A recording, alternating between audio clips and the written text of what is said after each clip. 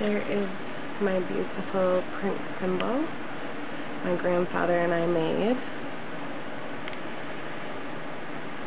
Pretty cool. It's a little difficult to see it, but it sparkles. We put car glitter all over it, and it's purple and silver. And